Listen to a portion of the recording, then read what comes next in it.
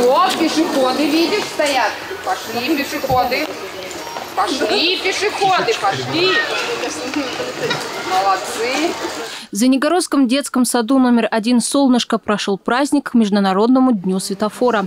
Совсем юные пешеходы активно участвовали в играх, смело отвечали на вопросы инспекторов и закрепляли свои знания. Приобретенные навыки помогут ребятам правильно вести себя на дороге. У нас помимо светофора для водителей есть еще светофор для пешеходов, для таких, как вы, как те, кто выходит из машины, правильно? Те, кто выходит из транспорта, это у нас пешеходы. Поэтому нам с вами нужно научиться ориентироваться по пешеходному переходу и по пешеходным светофорам.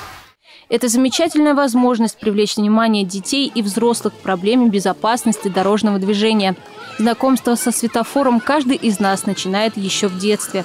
Без сомнений можно сказать, что маленькие пешеходы справились на отлично. Я считаю, что на сегодняшнем мероприятии дети справились очень хорошо, учитывая их возраст, они все-таки еще маленькие, но тем не менее основные правила они уже знают и достаточно неплохо ориентируются в дорожной обстановке. В завершении мероприятия всем детям вручили сладкие подарки и световозвращающие элементы. Малыши их с удовольствием надели на руку. Раиса Киян, Артем Ломоносов, телекомпания «Одинцова».